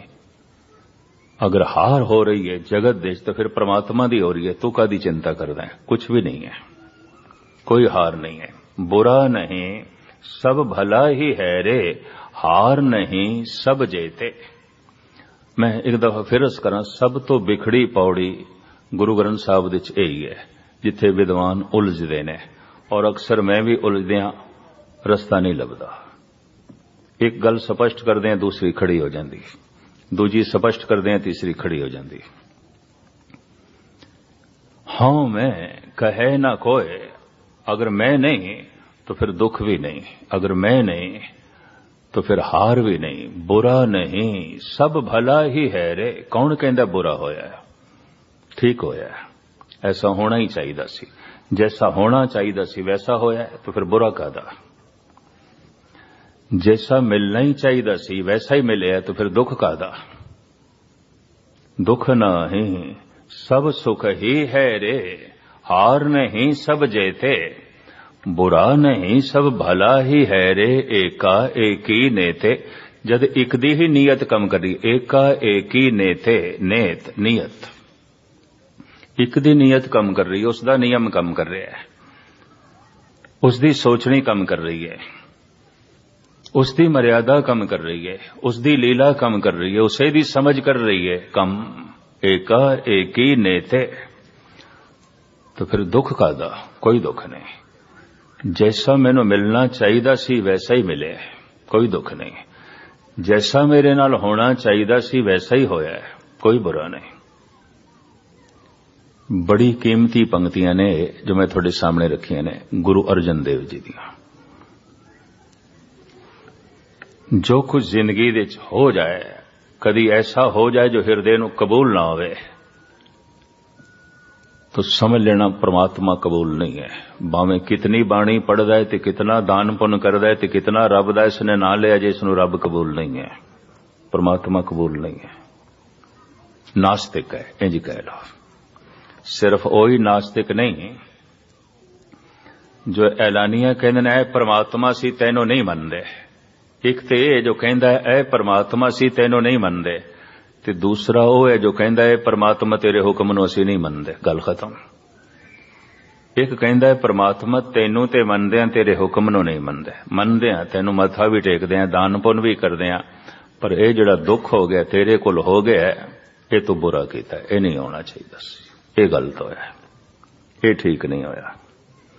ਤੈਨੂੰ ਮੰਨਦੇ ਆ ਤੇਰੇ ਹੁਕਮ ਨੂੰ ਨਹੀਂ ਮੰਨਦੇ। ਇੱਕ ਨਾਸਤਿਕ ਉਹ ਹੈ ਜੋ ਕਹਿੰਦਾ ਤੈਨੂੰ ਹੀ ਨਹੀਂ ਮੰਨਦੇ। ਦੂਜੇ ਨਾਸਤਿਕ ਜਿਹੜੇ ਨੇ ਮੰਦਰ, ਮਸਜਿਦ, ਗੁਰਦੁਆਰਿਆਂ 'ਚ ਮਿਲਣਗੇ, ਤੇਰੇ ਹੁਕਮ ਨੂੰ ਨਹੀਂ ਮੰਨਦੇ। ਇੱਕ ਨਾਸਤਿਕ ਉਹ ਜੋ ਮੰਦਰ, ਮਸਜਿਦ, ਗੁਰਦੁਆਰਿਆਂ 'ਚ ਕੋਈ ਨਹੀਂ, ਬਾਹਰ ਨੇ। ਵਿਰੋਧਤਾ ਕਰਦੇ ਨੇ, ਕੋਈ ਜਾਣ ਦੀ ਲੋੜ ਨਹੀਂ। ਅਸੀਂ ਮੰਨਦੇ ਹੀ ਨਹੀਂ, ਗੱਲ ਖਤਮ। ਐ ਪਰਮਾਤਮਾ ਸੀ ਤੈਨੂੰ ਹੀ ਨਹੀਂ ਮੰਨਦੇ। ਦੂਸਰੇ ਮੰਦਰ, ਮਸਜਿਦ, ਗੁਰਦੁਆਰਿਆਂ ਜਾਣ ਵਾਲੇ ਨੇ, ਜਿਹੜੇ ਕਹਿੰਦੇ ਨੇ, ਪਰਮਾਤਮਾ ਤੈਨੂੰ ਤੇ ਮੰਨਦੇ ਆ, ਪਰ ਤੇਰੇ ਹੁਕਮ ਨੂੰ ਨਹੀਂ ਮੰਨਦੇ। ਇਹ ਜੋ ਹੋ ਗਿਆ ਸਾਨੂੰ ਕਬੂਲ ਨਹੀਂ। ਨਾ ਹੋਵੇ ਪਿਆ ਕਬੂਲ, ਇਹ ਤੇ ਤੈਨੂੰ ਪ੍ਰਵਾਨ ਕਰਨਾ ਹੀ ਪਏਗਾ। ਤੂੰ ਜੇ ਆਖੇ ਰਾਤ ਹੋਈ ਹੈ ਤੇ ਇਹ ਤੇ ਮੈਨੂੰ ਨਹੀਂ ਚਾਹੀਦੀ, ਤੈਨੂੰ ਤਾਂ ਜੀਵਣਾ ਹੀ ਪਏਗਾ, ਰਾਤ ਦੇ ਚ ਹੋ ਗਈ ਹੈ ਤਾਂ ਹੋ ਗਈ ਹੈ ਤੇਰੇ ਕੀਤੇ ਥੋੜੀ ਹੋਣਾ ਇਸ ਦੇ ਤੇਰਾ ਹੰਕਾਰ ਥੋੜੀ ਕੰਮ ਕਰੇਗਾ, ਇਹ ਤੇ ਉਸ ਦੀ ਕਿਰਿਆ ਤੇ ਹੁਣ ਤੂੰ ਆਖੇ ਦਿਨ ਨਹੀਂ ਚਾਹੀਦਾ ਸੀ, ਕਿਉਂ ਹੋਇਆ ਸੂਰਜ ਕਿਉਂ ਹੋ ਗਿਆ ਪਿਟਦਾ ਰਹੇ ਤੂੰ, ਇਹ ਤੇ ਉੱਗੇਗਾ, ਇਹ ਤੇ ਹੋਵੇਗਾ। ਹੋ ਰਿਹਾ ਕੀਤਾ ਨਹੀਂ ਜਾ ਰਿਹਾ। ਮੈਂ ਫਿਰ ਅਰਜ਼ ਕਰਾਂ, ਹੋ ਰਿਹਾ ਕੀਤਾ ਨਹੀਂ ਜਾ ਰਿਹਾ। ਫਿਰ ਮਨੁੱਖ ਕਿਉਂ ਦੁਖੀ ਹੈ? ਕਹਿੰਦਾ, ਮੈਂ ਕਰ ਰਿਹਾ ਇਸ ਕਰਕੇ ਦੁਖੀ ਹੈ। ਨਾਨਕ ਹੁਕਮੇ ਜੇ ਬੁਝੇ, ਤਾਂ ਹਉ ਮੈਂ ਕਹੇ ਨਾ ਕੋਏ। ਜਿਤਨਾ ਇਹ ਆਪਣੇ ਆਪ ਨੂੰ ਕਰਤਾ ਮੰਨ ਲੈਂਦਾ ਉਤਨਾ ਹੀ ਦੁਖੀ ਹੋ ਜਾਂਦਾ ਹੈ। ਉਤਨਾ ਹੀ ਦੁਖੀ ਹੋ ਜਾਂਦਾ ਹੈ। ਪਤਾ ਹੈ, ਸਭ ਤੋਂ ਵੱਡੀ ਭੇਟ ਕੀ ਹੈ? ਪ੍ਰਮਾਤਮਾ ਦੇ ਅੱਗੇ ਰੱਖਣਾ। ਬਸ ਆਪਣਾ ਅਹੰਕਾਰ ਰੱਖਣਾ, ਹੋਰ ਕੋਈ ਭੇਟਾ ਨਹੀਂ। ਹੈ ਧਨ ਭੇਟ ਕਰਨਾ, ਅਨ ਭੇਟ ਕਰਨਾ, ਸੋਨਾ ਚਾਂਦੀ ਭੇਟ ਕਰਨਾ, ਇਹ ਸਭ ਕੁਝ ਇਸ ਵਾਸਤੇ ਕਿਸੇ ਦਿਨ ਮਨੁੱਖ ਨੂੰ ਆਪਣਾ ਹੰਕਾਰ ਭੇਟ ਕਰਨ ਦੀ ਜਾਚ ਆ ਜਾਏ, ਕਿਉਂਕਿ ਮਨੁੱਖ ਦਾ ਅਹੰਕਾਰ ਕਿਧਰੇ ਧਨ ਤੇ ਖੜਾ ਹੈ, ਸੋਨੇ ਤੇ ਖੜਾ ਹੈ, ਚਾਂਦੀ ਤੇ ਖੜਾ ਹੈ, ਪਦਾਰਥਾਂ ਤੇ ਖੜਾ ਹੈ, ਜਿਤਨੇ ਜ਼ਿਆਦਾ ਪਦਾਰਥ, ਉਤਨਾ ਅਹੰਕਾਰ ਤੋਂ ਮੈਂ ਭੇਟ ਕਰਦਾ। ਚਲੋ ਥੋੜਾ ਜਿਹਾ ਅਹੰਕਾਰ ਭੇਟ ਕਰਦਾ। ਇੱਕ ਦਿਨ ਸਾਰਾ ਹੰਕਾਰ ਭੇਟ ਕਰ ਦੇਵੇ ਭਾਵੇਂ ਤਨ ਭੇਟ ਕਰੇ ਨਾ ਕਰੇ ਹੰਕਾਰ ਭੇਟ ਕਰਦੇ ਇਸ ਵਾਸਤੇ ਕਬੀਰ ਕਹਿੰਦੇ ਮਾਇਆ ਤਜੀ ਤੋ ਕਿਆ ਭਇਆ ਜੋ ਮਾਨ ਤਜਾ ਨਹੀਂ ਜਾਏ ਮਾਨ ਮੁਨੀ ਮੁਨ ਵਰਗਲੇ ਮਾਨ ਸਵੇ ਕੋ ਖਾਏ ਕੀ ਹੋਇਆ ਤੂੰ ਇਤਨਾ ਧਨ ਦਾ ਤਿਆਗੀ ਹੋਇਆ ਤਿਆਗਣਾ ਤਾਂ ਹੰਕਾਰ ਸੀ ਬਿਨ ਹੋ ਤਿਆਗ ਕਹਾਂ ਕੋ ਤਿਆਗੀ जितने तक अहंकार है तू कोसों दूर है मैं ਤੋ ਬਹੁਤ ਕੁਝ ਐਸਾ ਹੋਵੇਗਾ ਜੋ ਤੇਰੇ ਮੇਰੇ ਦੇ ਅਨੁਕੂਲ ਨਹੀਂ ਹੋਵੇਗਾ। ਜੋ ਜੋ ਤੂੰ ਚਾਹਨਾ ਹੈ, ਉਸ ਦੇ ਅਨੁਕੂਲ ਨਹੀਂ ਹੋਵੇਗਾ। ਫਿਰ ਉਥੋਂ ਤੂੰ ਰੋਏਗਾ, ਔਖਾ ਹੋਵੇਗਾ, ਦੁਖੀ ਹੋਵੇਗਾ। ਹਾਲਾਂਕਿ ਹੁਕਮ, ਲਿਖ, ਦੁੱਖ, ਸੁਖ ਪਾਈਏ। ਅਗਰ ਤੂੰ ਉਸ ਨੂੰ ਮੰਨ ਦੇਵ ਜੀ ਦੱਸਦੇ ਦੁੱਖ ਨਹੀਂ, ਸਭ ਸੁਖ ਹੀ ਹੈ ਰੇ। ਹਾਰ ਨਹੀਂ ਸਭ ਜੇਥੇ। ਮੈਂ ਕਿਸ ਤਰ੍ਹਾਂ ਕਹਿ ਦਿਆਂ, ਜੋ ਤੇਰੇ ਹੱਥੋਂ ਮੈਨੂੰ ਮਿਲਿਆ ਤੇ ਦੁੱਖ ਹੈ। ਮੈਂ ਨਹੀਂ ਕਹਿੰਦਾ, ਗੁਰੂ ਅਰਜਨ ਦੇਵ ਜੀ। ਇਸ ਦੇ ਤੇ ਇੱਕ ਛੋਟੀ ਜਿਹੀ ਗਾਥਾ ਇਤਿਹਾਸਕ ਮੈਨੂੰ ਚੇਤੇ ਆਈ ਹੈ। ਸ਼ਾਇਦ ਸਪਸ਼ਟ ਹੋ ਸਕੇ ਥੋੜਾ ਬਾਬਰ ਜਦ ਹਿੰਦੁਸਤਾਨ ਆਇਆ, ਗੁਲਾਮਾਂ ਨੂੰ ਨਾਲ ਲੈ ਕੇ ਆਇਆ ਸੀ। ਗੁਲਾਮਾਂ 500 ਗੁਲਾਮਾਂ ਨੂੰ ਨਾਲ ਲੈ ਕੇ ਇਸਨੇ ਹਿੰਦੁਸਤਾਨ ਨੂੰ ਗੁਲਾਮ ਬਣਾਇਆ। ਇੱਕ ਗੁਲਾਮ ਐਸਾ ਸੀ ਜੋ ਹਰ ਵਕਤ ਇਸ ਦੇ ਨਾਲ ਰਹਿੰਦਾ ਸੀ। ਭਾਰਤ ਸਰਸਵ ਦੇਸ਼ ਫੁੱਲਾਂ, ਫਲਾਂ ਦਾ ਦੇਸ਼। ਇੱਕ ਫਲ ਬਾਬਰ ਨੇ ਜੰਗਲ ਦੇ ਤੋੜਿਆ, ਇੱਕ ਦਰਖਤ ਤੋਂ। ਦਰਖਤ ਲਦਿਆ ਹੋਇਆ ਸੀ ਫਲ ਨਾਲ। ਫਲ ਉਸਨੇ ਦਿੱਤਾ ਹੈ। ਗੁਲਾਮ ਨੂੰ, ਜੋ ਨਾਲ ਨੌਕਰ ਸੀ। ਉਹਨੂੰ ਆਖਿਆ, ਦੇਖ, ਇਹ ਕਿਸ ਤਰ੍ਹਾਂ ਦਾ ਹੈ? ਉਹਨੇ ਚਾਕੂ ਨਾਲ ਇੱਕ ਫਾੜੀ ਕੱਟੀ ਆਖਿਆ ਚੱਕ ਕੇ ਦੇਖ ਕੈਸਾ ਹੈ। ਉਹਨੇ ਖਾਦੀ ਆਖਿਆ ਬਾਦਸ਼ਾਹ, ਸਲਾਮਤ ਬਹੁਤ ਮਿੱਠਾ ਹੈ, ਬੜਾ ਸਵਾਦੀ ਹੈ। ਅੱਛਾ, ਤੋ ਫਾੜੀ ਕੱਟ ਕੇ ਮੈਨੂੰ ਦੇ। ਉਹਨੇ ਦੂਸਰੀ ਕੱਟੀ ਤੇ ਆਪ ਦੂਸਰੀ ਫਾੜੀ ਨੂੰ ਵੀ ਮੂੰਹ ਚ ਪਾ ਗਿਆ, ਗੁਲਾਮ। ਬਾਬਰ ਨੂੰ ਨਹੀਂ ਦਿੱਤੀ। ਬਾਬਰ ਕਹਿੰਦਾ, ਜ਼ਿੰਦਗੀ ਵਿੱਚ ਪਹਿਲੀ ਦਫਾ ਮੈਂ ਦੇਖ ਰਿਹਾ, ਤੂੰ ਮੇਰੇ ਹੁਕਮ ਦੀ ਅਦੂਲੀ ਕੀਤੀ। ਐਸਾ ਤੇ ਕਦੀ ਨਹੀਂ ਹੋਇਆ। ਐਸਾ ਤੇ ਕਦੀ ਨਹੀਂ ਹੋਇਆ। ਬੜੀ ਬੜੀ ਮੁਸੀਬਤਾਂ ਚ, ਬੜੇ ਬੜੇ ਔਖੇ ਸਮੇਂ ਚ ਜੋ ਮੈਂ ਕਿਹਾ ਤੂੰ ਪੂਰਾ ਕੀਤਾ ਤੇ ਅੱਜ ਤੇ ਕੋਈ ਐਸੀ ਗੱਲ ਹੀ ਨਹੀਂ ਮੈਂ ਕਿਹਾ ਇਹ ਫਾੜੀ ਮੈਨੂੰ ਦੇ, ਤੂੰ ਆਪ ਖਾ ਗਿਆ ਅੱਛਾ, ਹੋਰ ਫਾੜੀ ਕੱਟ, ਤੈਨੂੰ ਮਾਫ ਕਰਦਾ ਮੈਂ। ਕੱਟ ਮੈਨੂੰ ਦੇ। ਉਹਨੇ ਕੱਟੀ, ਤੀਸਰੀ ਫਾੜੀ, ਉਹ ਵੀ ਮੂੰਹ ਚ ਪਾ ਗਿਆ। ਹੁਣ ਇੱਕੋ ਹੀ ਫਾੜੀ ਬਚੀ ਹੈ ਤੇ ਬਾਬਰ ਨੇ ਖੋ ਲਈ ਤੇ ਗਾਲਾਂ ਵੀ ਕੱਢੀਆਂ ਉਸ ਆਖਿਆ, ਹੁਣ ਤੂੰ ਮੇਰੇ ਨਾਲ ਰਹਿਣ ਦੇ ਲਾਇਕ ਨਹੀਂ ਰਿਹਾ। ਦੇਖ ਲਿਆ ਮੈਂ ਤੈਨੂੰ। ਅੱਜ ਤੱਕ ਤੇਰੀ ਵਫਾਦਾਰੀ ਸ਼ਾਇਦ ਧੋਖਾ ਸੀ। ਤੂੰ ਤੇ ਇੱਕ ਨਿੱਕੇ ਜਿਹਾ ਫਲ ਤੇ ਸਵਾਦ ਦਿੱਤੇ ਹੀ ਬੇਈਮਾਨ ਬੇਈਮਾਨ ਹੋ ਗਏ ਮੈਂ ਮੰਗ ਰਿਹਾ ਤੇ ਤੂੰ ਦਿੰਦਾ ਨਹੀਂ। ਇਤਨਾ ਤੈਨੂੰ ਸਵਾਦੀ ਲੱਗੇ, ਇਤਨਾ ਮਿੱਠਾ ਹੈ। ਮੇਰੇ ਮੰਗਣ ਦੇ ਬਾਵਜੂਦ ਤੂੰ ਦੇ ਨਹੀਂ ਰਿਹਾ। ਉਹ ਚੌਥੀ ਫਾੜੀ ਬਾਬਰ ਨੇ ਮੂੰਹ ਚ ਪਾਈ ਕੌੜਾ ਜ਼ਹਿਰ। ਇੱਕਦਮ ਸੁੱਟਿਆ ਉਸਨੇ। ਕਹਿਣ ਲੱਗੇ, ਹੈ? ਤੂੰ ਤੇ ਕਹਿੰਦਾ ਸੀ ਸਵਾਦੀ ਹੈ ਰਸਦਾਇਕ ਹੈ ਤੇ ਨਿਰੀ ਜ਼ਹਿਰ, ਕੌੜਾ। ਗੁਲਾਮ ਕਹਿੰਦੇ, ਬਾਦਸ਼ਾਹ ਸਲਾਮਤ, ਤੇਰੇ ਹੱਥਾਂ ਤੋਂ ਅੱਜ ਤੱਕ ਮੈਂ ਬਹੁਤ ਮਿੱਠੇ ਫਲ ਛਕੇ ਨੇ, ਬਹੁਤ। ਮੇਰੀ ਆਤਮਾ ਨਹੀਂ ਮੰਨੀ, ਇਹ ਫਲ ਕੌੜਾ ਸੀ ਤੇ ਮੈਂ ਆਖਾਂ ਕੌੜਾ ਹੈ ਕਿਉਂਕਿ ਤੇਰੇ ਹੱਥਾਂ 'ਚੋਂ ਆਇਆ, ਤੂੰ ਦਿੱਤਾ ਹੈ ਦਿੱਤਾ, ਤੂੰ ਸੀ, ਤੂੰ ਤੋੜਿਆ ਤੇ ਮੈਂ ਹੁਣ ਇਹ ਆਖਾਂ, ਕੌੜਾ ਹੈ। ਇਹਦਾ ਮਤਲਬ ਹੈ ਤੇਰੇ ਹੱਥਾਂ ਨੇ ਮੈਨੂੰ ਕੌੜਾ ਫਲ ਦਿੱਤਾ ਹੈ। ਇਹ ਮੇਰੀ ਆਤਮਾ ਨਹੀਂ ਮੰਨੀ। ਇਹ ਮੇਰੀ ਜ਼ਮੀਰ ਨਹੀਂ ਮੰਨੀ। ਸੈਂਕੜੇ ਸੁਖ ਮਨੁੱਖ ਨੂੰ ਮਿਲਦੇ ਨੇ, ਕਤਈ ਪ੍ਰਮਾਤਮਾ ਦਾ ਧੰਨਵਾਦ ਨਹੀਂ। ਕਦ ਕਿਧਰੇ ਦੁੱਖ ਆ ਜਾਂਦਾ ਤੇ ਸੈਂਕੜੇ ਗਿਲੇ। ਸੌ ਤਰ੍ਹਾਂ ਦੇ ਗਿਲੇ। ਹਜ਼ਾਰਾਂ ਖੁਸ਼ੀਆਂ ਮਿਲੀਆਂ ਨੇ, ਕਦੀ ਦਿਲੋਂ ਧੰਨਵਾਦ ਨਹੀਂ, ਧੰਨਵਾਦ ਉਪਰੋਂ ਉਪਰ ਆਉਂਦੇ ਨੇ। ਖੁਸ਼ੀਆਂ ਦੇ ਸਾਰੇ ਪ੍ਰੋਗਰਾਮ ਉਪਰੋਂ ਉਪਰ ਆਉਂਦੇ ਨੇ, ਕੋਈ ਗੁਰੂ ਦੀ ਯਾਦ ਨਹੀਂ ਆਉਂਦੀ। ਮੈਂ ਐਸਾ ਦੇਖਿਆ, ਸਭ ਮਨੋਰੰਜਨ ਹੁੰਦਾ ਹੈ। ਖੁਸ਼ੀ ਦੇ ਸਮੇਂ ਦਾ ਸਤਸੰਗ ਸਤਸੰਗ ਨਹੀਂ ਆਉਂਦਾ, ਮਨੋਰੰਜਨ ਆਉਂਦਾ ਹੈ। ਹਾਂ, ਦੁੱਖ ਦੇ ਸਮੇਂ ਦਾ ਥੋੜਾ ਜਿਹਾ ਸਤਸੰਗ ਸਤਸੰਗ ਜ਼ਰੂਰ ਆਉਂਦਾ ਹੈ। ਉਸ ਵਿੱਚ ਮਨੁੱਖ ਦੀ ਆਪਣੀ ਲੋੜ ਆਉਂਦੀ ਹੈ, ਪ੍ਰਾਰਥਨਾ ਜ਼ਰਾ ਗਹਿਰੀ ਕਰਦਾ ਹੈ, ਅਰਦਾਸ ਗਹਿਰੀ ਕਰਦਾ ਹੈ। ਸੁਖ ਦੇ ਤੈਵੇਂ ਹੀ ਮਨੋਰੰਜਨ ਹੁੰਦਾ ਹੈ, ਧੰਨਵਾਦ ਨਹੀਂ ਹੁੰਦਾ। ਹਜ਼ਾਰਾਂ ਸੁਖ ਤੈਨੂੰ ਮਿਲੇ, ਤੂੰ ਧੰਨਵਾਦ ਨਹੀਂ ਕੀਤਾ। ਇੱਕ ਦੁੱਖ ਆਇਆ ਤੇ ਗਿਲੇ ਨਾਲ ਭਰ ਗਏ ਉਸਨੇ ਜੀਵਨ ਦਿੱਤਾ। ਜੀਵਨ ਲਈ ਸਭ ਕੁਝ ਦਿੱਤਾ। ਕਦੀ ਧੰਨਵਾਦ ਨਹੀਂ। ਇੱਕ ਅਦ ਦੁੱਖ ਆ ਗਿਆ। ਔਰ ਗਜ਼ਬ ਦੀ ਗੱਲ ਇੱਕ ਅਦ ਦੁੱਖ ਵੀ ਜਿਹੜਾ ਆਇਆ ਹੈ ਉਹ ਵੀ ਤੇਰੇ ਕਾਰਨ ਕਰਕੇ ਆਇਆ ਪਰਮਾਤਮਾ ਕਰਕੇ ਨਹੀਂ, ਪਰਮਾਤਮਾ ਦੁੱਖਵਾਦੀ ਨਹੀਂ ਹੈ। ਤੇਰੇ ਕਰਕੇ ਆਇਆ ਹੈ। ਦੁੱਖ ਦੀ ਜ਼ਿੰਮੇਵਾਰੀ ਤੇਰੀ ਹੈ। ਇਹ ਗੱਲ ਵੱਖਰੀ ਹੈ ਕਿ ਤੂੰ ਪ੍ਰਮਾਤਮਾ ਨੂੰ ਜ਼ਿੰਮੇਵਾਰ ਠਹਿਰਾ ਰਿਹਾ ਹੈ। ਹਾਂ, ਪਰਮਾਤਮਾ ਦੇ ਨਿਯਮ ਨੂੰ ਤੂੰ ਜ਼ਿੰਮੇਵਾਰ ਠੁਕਰਾ ਸਕ, ਕਾਰਨ, ਨਿਯਮ ਉਸ ਦਾ ਕੀ ਹੈ? ਤੂੰ ਬਾਜਰਾ ਬੀਜੈ, ਤਾਂ ਬਾਜਰਾ ਹੀ ਪੈਦਾ ਹੋਵੇਗਾ। ਤੇ ਤੂੰ ਆਖੇ, ਮੈਂ ਇਤਨੀ ਮਿਹਨਤ ਕੀਤੀ, ਖਾਦ ਵੀ ਪਾਈ, ਪਾਣੀ ਵੀ ਦਿੱਤਾ, ਬੀਜ ਵੀ ਬੋਏ, ਪਰ ਮੈਨੂੰ ਤੇ ਕਣਕ ਚਾਹੀਦੀ ਸੀ। ਇਹ ਤੂੰ ਕੀ ਕੀਤਾ ਪ੍ਰਮਾਤਮਾ? ਤੇ ਪ੍ਰਮਾਤਮਾ ਨੇ ਕਹਿਣਾ, ਜੇ ਤੈਨੂੰ ਕਣਕ ਚਾਹੀਦੀ ਸੀ ਤਾਂ ਫਿਰ ਕਣਕ ਬੀਜਦਾ ਤੂੰ ਬਾਜਰਾ ਬੀਜਿਆ, ਬਾਜਰਾ ਹੈ। ਤੂੰ ਦੁੱਖ ਬੀਜਿਆ ਸੀ, ਮੈਂ ਦੁੱਖ ਪੈਦਾ ਕੀਤਾ ਹੈ, ਇਹਦੇ ਚ ਮੇਰਾ ਕੋਈ ਕਸੂਰ ਨਹੀਂ। ਹਾਂ, ਮੇਰੀ ਇੱਕ ਮਰਿਆਦਾ ਹੈ ਜਿਹਾ ਬੀਜੇ ਸੋ ਲੁਣੇ ਕਰਮਾ ਸੰਦੜਾ ਖੇਤ, ਆਪ ਬੀਜ ਆਪੇ ਹੀ ਖਾਏ। ਇਹ ਮੇਰੀ ਮਰਿਆਦਾ ਹੈ। ਇਹ ਮੇਰਾ ਨਿਯਮ ਹੈ। ਮੈਂ ਇਸ ਨਿਯਮ ਨੂੰ ਨਹੀਂ ਤੋੜਦਾ। ਇਸ ਵਾਸਤੇ ਦੁੱਖ ਦੀ ਜ਼ਿੰਮੇਵਾਰੀ ਮੇਰੀ ਨਹੀਂ ਫਿਰ ਵੀ ਮੇਰੀ ਇਤਨੀ ਜ਼ਿੰਮੇਵਾਰੀ ਹੈ ਕਿ ਮਰਿਆਦਾ। ਪਰ ਮਰਿਆਦਾ ਦੀ ਉਲੰਘਣਾ ਤੇ ਤੂੰ ਕੀਤੀ। ਨਿਯਮ ਦੀ ਉਲੰਘਣਾ ਤੇ ਤੂੰ ਕੀਤੀ। ਔਰ ਨਿਯਮ ਦੀ ਉਲੰਘਣਾ ਤੂੰ ਕਰ ਸਕਦਾ ਹੈ, ਇਸ ਤਰ੍ਹਾਂ ਦੀ ਖੁੱਲ ਮੈਂ ਤੈਨੂੰ ਦਿੱਤੀ ਹੈ।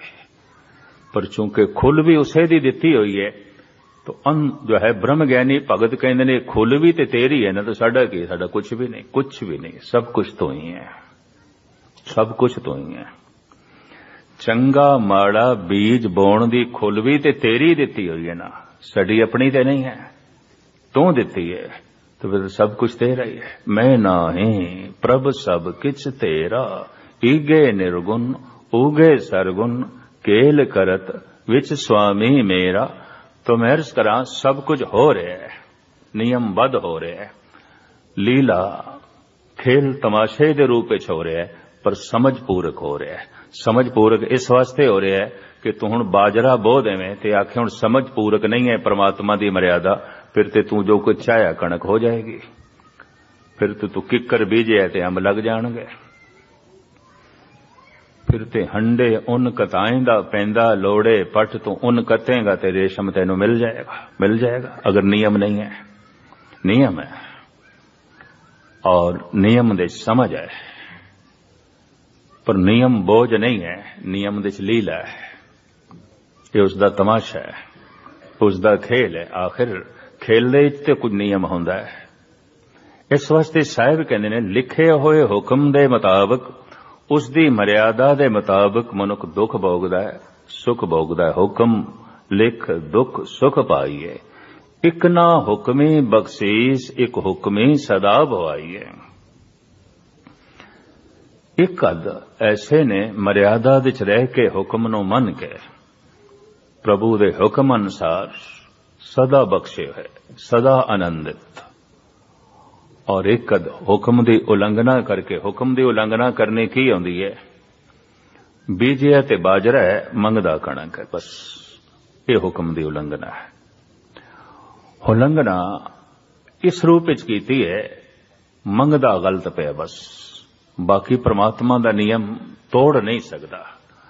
ਤੋੜਿਆ ਤੇ ਤਾਂ ਮੰਨ ਸਕਦੇ ਆ ਬੀਜਿਆ ਬਾਜਰਾ ਤੇ ਕਣਕ ਪੈਦਾ ਹੋਵੇ ਤਾਂ ਰੱਬ ਦਾ ਨਿਯਮ ਟੁੱਟ ਗਿਆ।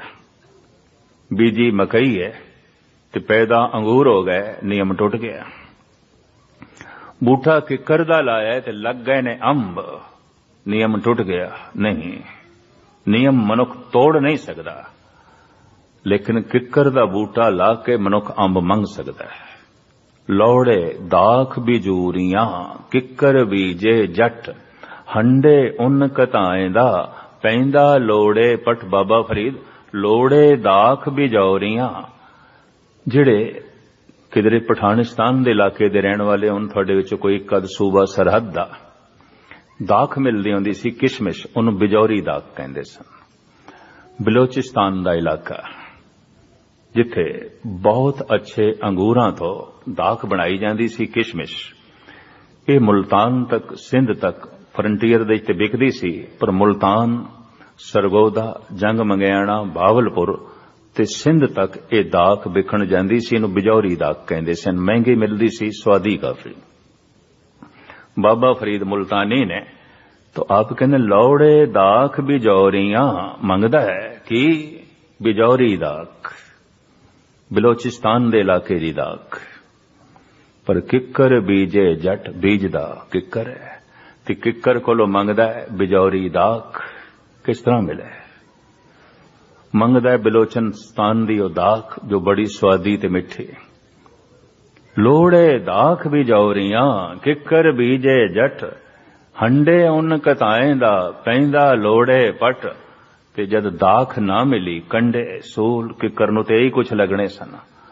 ਤੇ ਕਹਿੰਦਾ, ਹੈ ਪਰਮਾਤਮਾ, ਤੂੰ ਕੀ ਕਰੂਪੀ ਕਰ ਦਿੱਤੀ? ਕਿੰਨਾ ਦੁੱਖ ਮੈਨੂੰ ਦੇ ਦਿੱਤਾ? ਭਾਵੇਂ ਉਸ ਦਾ ਹੀ ਨਿਯਮ ਹੈ, ਉਸ ਦੇ ਨਿਯਮ ਕਰਕੇ ਦੁੱਖ ਹੈ। ਪਰ ਇਸ ਦੇ ਬੀਜਿਆ ਤੇ ਤੂੰ ਕਿੱਕਰ ਹੈ। ਲਾਇਆ ਤੇ ਤੂੰ ਕਿੱਕਰ ਹੈ। ਤੇ ਉਸ ਦੀ ਮਰਿਆਦਾ ਹੈ, ਕਿੱਕਰ ਬੀਜੇ ਜੱਟ, ਤਾਂ ਫਿਰ ਸੂਲ ਹੀ ਨੇ ਤੇਰੇ ਪੱਲੇ ਹੋਰ ਕੁਝ ਨਹੀਂ।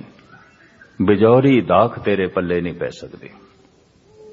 ਇਹ ਹੁਕਮ ਹੈ, ਹੁਣ ਇੱਕ ਸੂਲ ਤੈਨੂੰ ਚੁੱਭਣ ਇਹ ਜੋ ਤੂੰ ਬੀਜੇ ਹੈ, ਕੰਡੇ ਬੀਜੇ ਨੇ, ਇਹ ਕੰਡੇ ਹੁਣ ਤੈਨੂੰ ਚੁੱਭਣਗੇ। ਹੁਕਮ ਲਿਖ ਦੁਖ ਸੁਖ ਪਾਈਏ।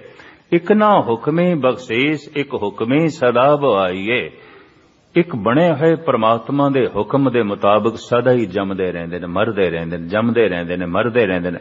ਉਹਦਾ ਬਣਾਇਆ ਹੋਇਆ ਨਿਯਮ ਕੀ ਹੈ? ਜਿਤਨੇ ਚਿਰ ਤੱਕ ਮਨੁੱਖ ਦਾ ਹੰਕਾਰ ਨਹੀਂ ਮਰਦਾ, ਜੰਮਦਾ ਤੇ ਮਰਦਾ ਰਹੇਗਾ। ਹਉਮੈ ਇਹ ਹਾ ਹੈ, ਹਉਮੈ ਕਰਮ ਕਮਾਏ, ਹਉਮੈ ਇਹੀ ਬੰਧਨਾ ਫਿਰ ਫਿਰ ਜੋ ਨਹੀਂ ਪਾਏ।